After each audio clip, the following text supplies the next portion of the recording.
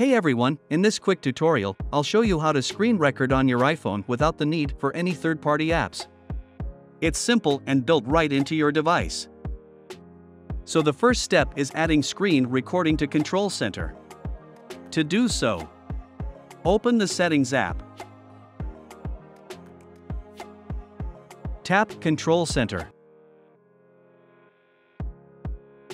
Scroll down and find Screen Recording.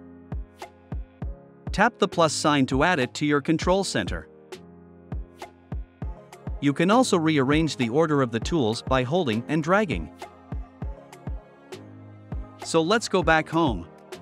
If you have an iPhone 10 or later, swipe down from the upper right corner.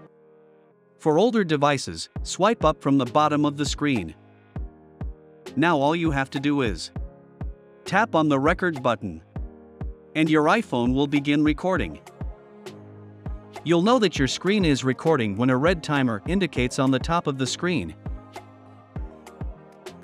In order to end the recording, open the control center again. Tap the record button to stop the recording. If you'd like to customize the video settings, tap and hold the record button to access video settings. To record your voice as well, tap on microphone and make sure the microphone button is red.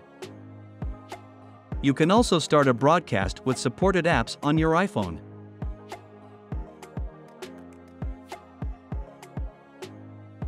Keep it in photos if you want screen recording.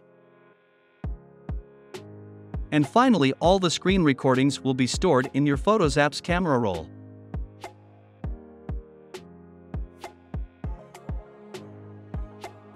And that's it.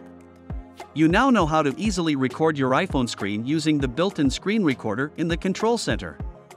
If you found this video helpful, don't forget to subscribe and leave a comment below and let us know.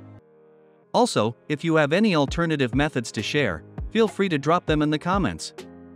Thanks for watching. Happy recording!